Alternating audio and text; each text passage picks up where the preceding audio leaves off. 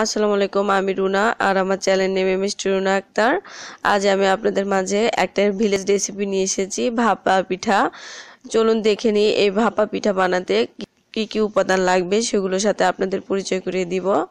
প্রথমে আটা নিয়ে নিতে হবে এবং আটার ভিতরে লবণ দিয়ে দিতে হবে।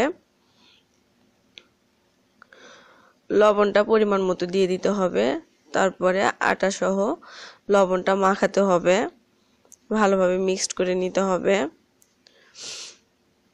মিক্সড করা হয়ে গেলে অল্প অল্প করে পানি দিতে হবে।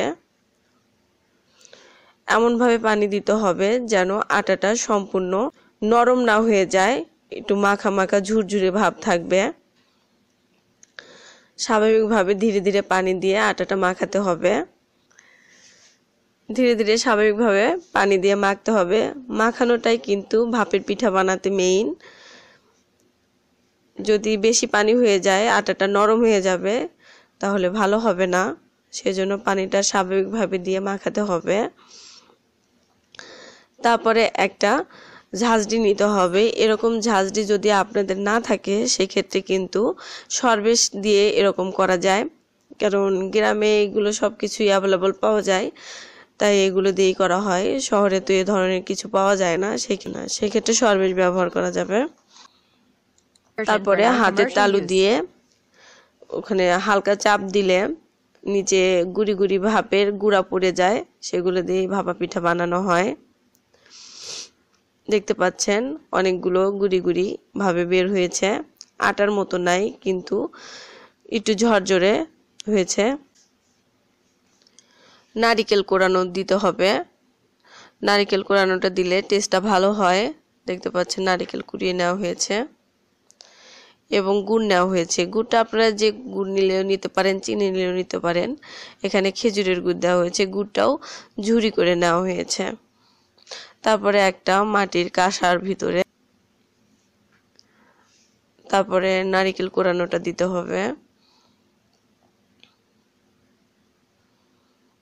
নারিকেল কোরানোটা নিজেদের স্বাদ মতো যে যেরকম খেতে পছন্দ করে, তারপরে গুড়টা দিয়ে দেওয়া হচ্ছে।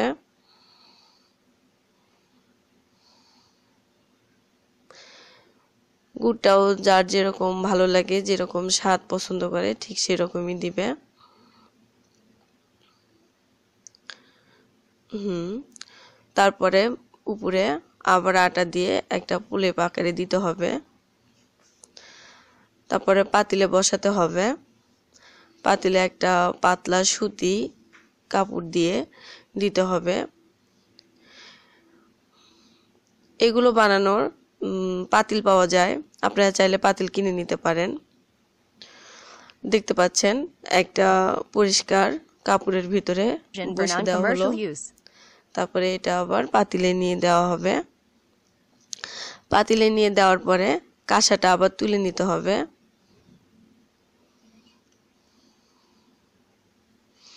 খুব সাবধানে কাঁসাটা তুলে নিতে হবে কারণ এখানে আগুনের তাপ লাগার ভয় থাকে। এবং ওই ভাপা পিঠার যে এটা দেওয়া হলো, সেটা ভেঙে যাওয়ার ভয় থাকে। দেওয়ার পরে দশ পনেরো সেকেন্ড পরে তুলে নিতে হবে, সঙ্গে সঙ্গে না। তারপরে এটা হয়ে আসতে হবে। ভালোভাবে হয়ে না আসলে কিন্তু কাঁচা থেকে যাবে। হয়ে যাওয়ার পরে তুলে নিতে হবে। দেখতে পাচ্ছেন খুবই সুন্দর। ভাপা পিঠা হয়ে গেছে, খুবই সুস্বাদু।